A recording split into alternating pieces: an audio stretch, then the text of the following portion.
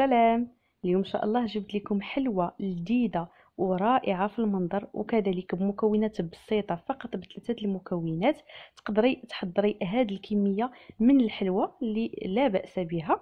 نتمنى إن شاء الله تجربوها غادي تعجبكم بزاف بزاف. خليكم مع المقادير. أول حاجة بالنسبة للمقادير غادي نحتاجو 250 غرام ديال الدقيق الممتاز أو ما يعادل زوج الكؤوس ديال العنبة. غادي نحتاجو ثلاثة ديال المثلثات ديال الفرماج. 150 غرام ديال الزبدة اللي تكون بحراره المطبخ. زوج ديال الساشيات ديال الفاني للتنسيم غادي نسمو بها العجين ديالنا. قبيصه ديال الملح. وغادي نحتاجو واحد الساشيه ديال الفلون. بنكهه الشوكولا فأنا بالنسبة ليا استعملت هذا الفلون هذا اللي كنظن كيدير 30 ريال. يعني شي حاجة اللي رخيصة ماشي غالية. 6 غرام اللي كتكون فيه. غادي ناخذ المكونات ديالي باش نجمعهم إما ناخذ بول بهذا الشكل أولا ناخذ قصرية. غادي نوضع الزبدة ديالي وندير عليها شوية ديال الملح. وغادي نحاول نخدم دوك المكونات ديالي مع الفانيلا أو السكر المنسم بالفانيلا. نخدمهم مزيان حتى الزبدة ديالي تبان لي بلي ولات على شكل بوماد يعني مطاوعاني في يديا.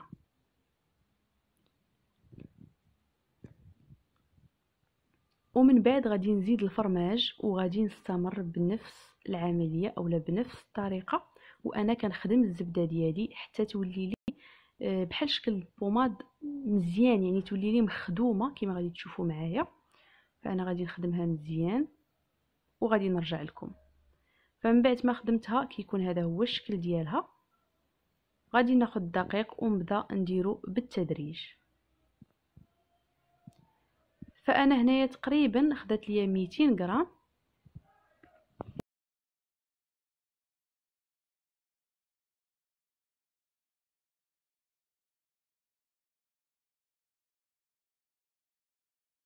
كنعتذر تقريبا خدات ليا 200 غرام ديال الدقيق. أنا كندخل وأنا كنخدمها بهذا الشكل.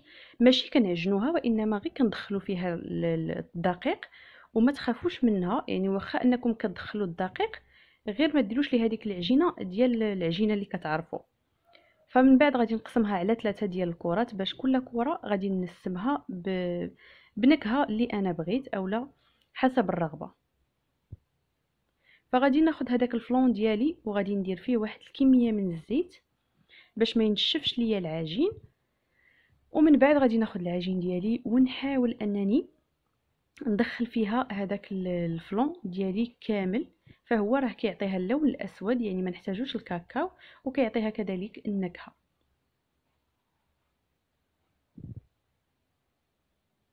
ومن بعد الا بانت ليا جارية يعني واحد شوية أولا ديك الزيت خلاتها ليا كتلتصق نزيدها واحد شوية ديال الدقيق ونحطها جانبا. كيكون هذا هو الشكل ديالها. غادي ناخذ العجين الثانية أولا الكرة الثانية اللي غادي ندير فيها الزنجلان. ممكن إذا ما كانش عندكم الزنجلان اولا ما بغيتوش تضيفوه فيمكن لكم ديروا بلاصة الزنجلان. آه هذاك ال vermicelle شوكولا.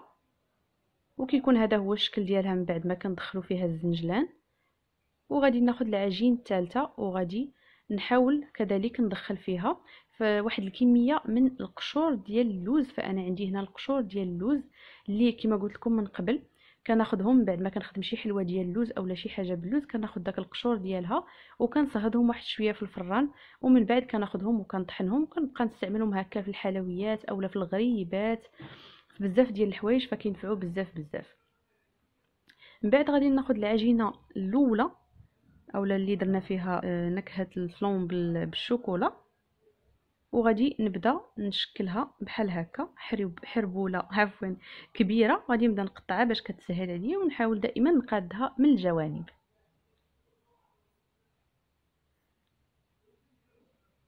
نديرها على شكل حربول.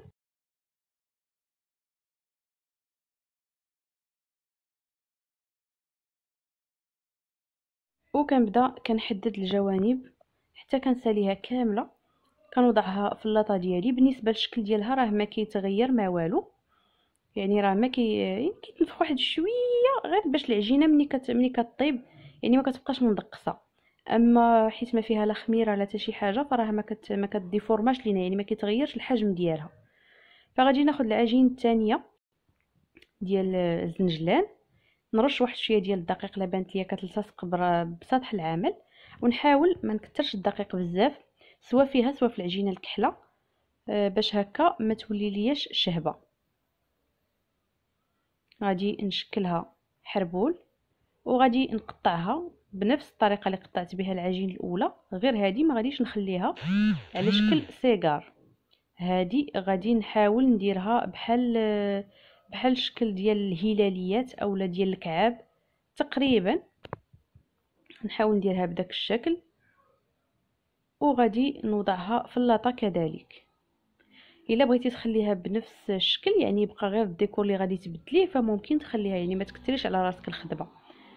ولكن نبدلو الشكل من الأحسن. من بعد غادي ندخلهم للفران فأنا آه، درتهم في الفران ديال الضوء اللي مسخن من قبل. وشعلته من الفوق ومن التحت على 150 درجة. يعني النار ضروري تكون مهيلة باش هكا ماشي طيب لينا من الفوق وتبقى لينا من الوسط آه، العجينة بقى طرية. يعني باش طيب لينا كاملة تنشف كاملة من الداخل ومن برا. من بعد خديت الشكل آه، الثالث اولا العجين الثالثه شكلتها حربول وحاولت انني نضغط عليها بهذا الشكل نحلها. غادي نعمرها باللوز وب وبالزبيب. يمكن لكم ما تعمروهاش ما كاش متوفر عندكم اللوز باش هكا. آه، يعني تبقى شي حاجة اللي بسيطة وسهلة. فقط كان متوفر عندي وحاولت أنني نديرو فيها. غادي ناخذ العجين ديالي ونبدا نسدها بهذا الشكل هذا. ومن بعد غادي ناخذ السكين اللي يكون ماضي باش إلا جيت حتى في شي لوزة يقطعها ليا.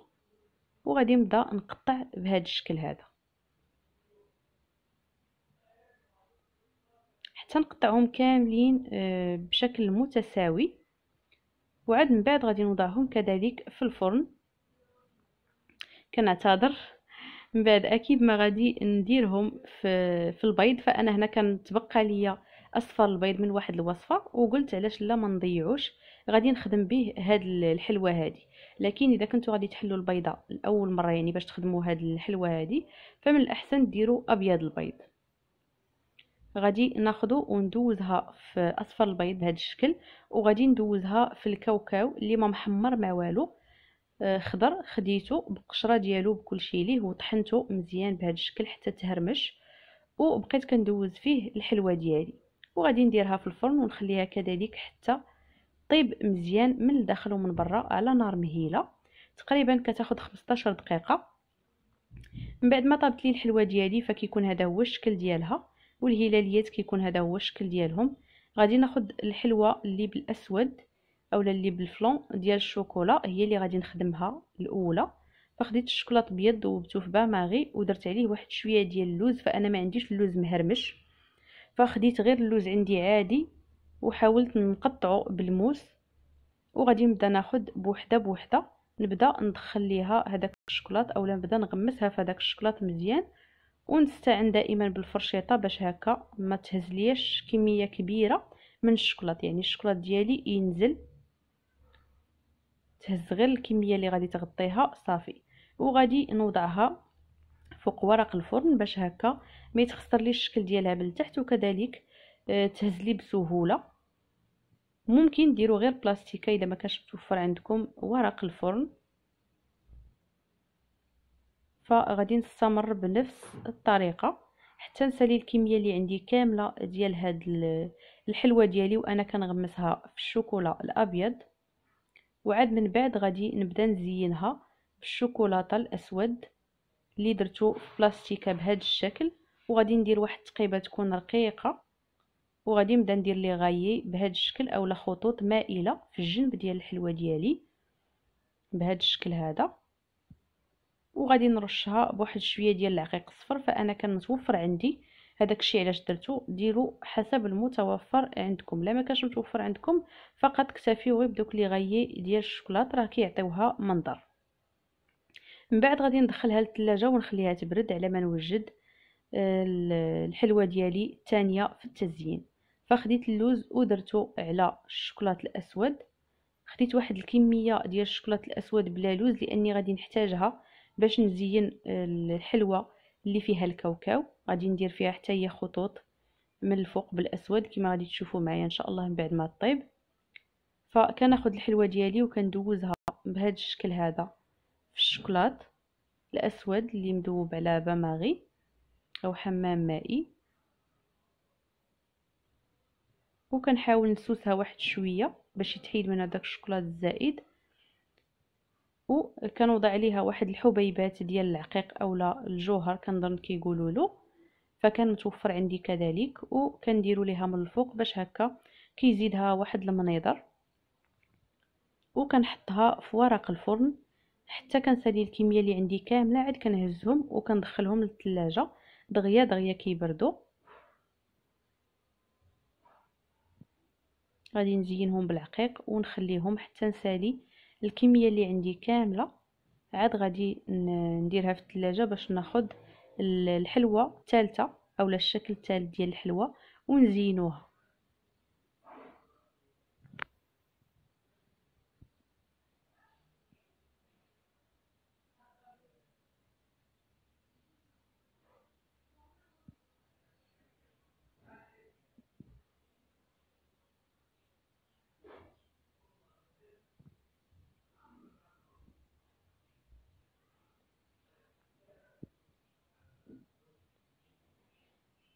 فمن بعد ما آه، وجدات لي الحلوة ديال الكاوكاو اللي غمسناها في الكاوكاو فكناخذ البلاستيكة وكندير فيها الشكلاط وكنبدا ندير لي غاي بهذا الشكل. ممكن ديروا آه، فوق من هاد لي غاي بالاسود ديروهم حتى بالأبيض إذا بغيتو كيعطيها حتى واحد المنظر. وكيكون آه، هذا هو الشكل ديال الحلوة ديالي من بعد ما كنساليها ومن بعد ما كيكرم عليها الشكلاط يعني كتعطينا واحد الكمية اللي لا بأس بها طبيسيل اللي نقدروا نحطو في المائدة ديالنا نهار العيد. وغير مكلفة وبصراحة كتوجد دغيا دغيا. كنتمنى إن شاء الله تجربوها وتخليو لي الآراء ديالكم في التعاليق. إذا كانوا كيعجبوكم بحال هاد الوصفات نبقى نحطهم لكم إن شاء الله وبإذن الله. نتلاقاو إن شاء الله في فيديو قادم مع وصفة جديدة وسهلة. خليتكم على خير. إلى اللقاء.